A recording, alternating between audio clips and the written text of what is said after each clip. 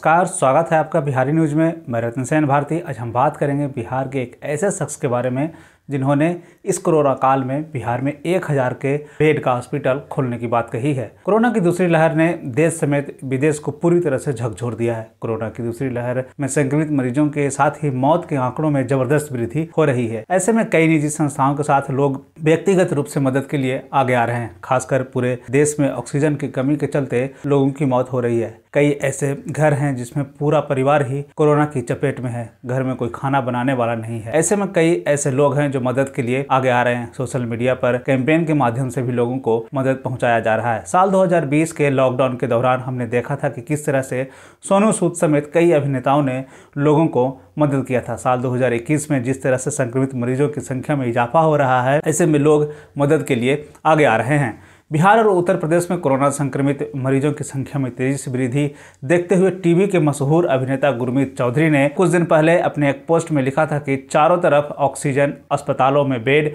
और इलाज के लिए हाहाकार मचा हुआ है। वो इसके लिए कुछ करना चाहते हैं, जहाँ सोनू सूद भी कोरोना मरीजों के लिए लगातार काम कर रहे हैं। ऐसे में अब गुरमीत चौधरी ने इसके लिए एक बड़ा कदम उठाने की सोची है। अभिनेता गुरमीत चौधरी ने अपनी बात साझा करते हुए लिखा कि वो बहुत जल्द आम लोगों के लिए एक अस्पताल खोलने की तैयारी में है, जिससे कई लोगों को मदद हो जाएगी। गुरमीत ने बताया कि वो इसकी पहली शुरुआत पटना और लखनऊ से करने वाले हैं। सोशल मीडिया पर मदद वाली बात शेयर करने के बाद उनके फ़ैन ने उन्हें खूब पसंद कर रहे हैं। अभिनेता गुरमीत चौधरी ने लिखा कि, मैंने तय कर लिया है कि मैं पटना में, लखनऊ में आम लोगों के लिए एक हज़ार बेड वाला अल्ट्रा मॉडर्न अस्पताल खोलूँगा, जिसे बाद में अन्य शहरों तक भी ले जाऊँगा। बस आप सभी अपना प्यार, आशीर्वाद मेरे साथ बनाए रखें। इससे जुड़ी आगे की जानकारी भी आपके साथ जल्द ही साझा करूँगा। गुरमीत चौधरी जैसे कितने ही लोग हैं जो इस संकट की घड़ी में मदद के लिए आगे आए हैं।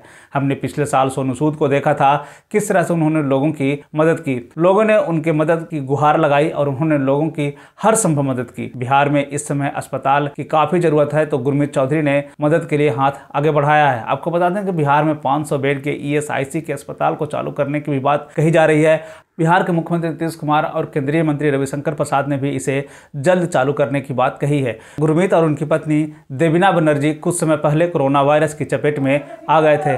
हाल ही में अभिनेता ने इस बात की जानकारी दी थी कि वह सोनू सूद से प्रभावित हैं और वह लोगों की सहायता करना चाहते हैं। देविना ने भी इस बारे में अपनी सहमति दी थी और उन्होंने लोगों से आगाह किया है कि कोरोना से ठीक होने के बाद वे प्लाज्मा देने के लिए आगे आए। कोरोना के बढ़ते मामलों को देखते हुए अक्षय कुमार, सोनम कपूर, भूमि पटनेकर जैसे कलाकारों ने आगे आकर सहायता की है। अक्षय कुमार ने गौतम गंभीर की फाउंडेशन में एक करोड़ रुपए की मदद की है। वहीं भूमि पटनेकर ने लोगों से प्लाज्मा डोनेट करने की अपील की है। सोनू सूद का हाल ही में कोरोना टेस्ट निगेटिव आया है। वह लगातार लोगों से सहायता करने में लगे हुए हैं। गुरमीत चौधरी फ़िल्म अभिनेता है। इसके अलावा वह कई टीवी शो में नज़र आ चुके हैं। लोगों को मदद करने की बात कहने के बाद लोग उन्हें काफ़ी पसंद कर रहे हैं। तो ये थी गुरमीत चौधरी के बारे में। उन्होंने बिहार और उत्तर प्रदेश में एक हज़ार बेड के अस्पताल खोलने की बात कही है। बिहार और बिहार से जुड़ी हुई और भी ऐसे ही खबरों के लिए बने रहे बिहारी न्यूज़ के साथ। मुझे दीजिए इजाज़त। धन्यवाद।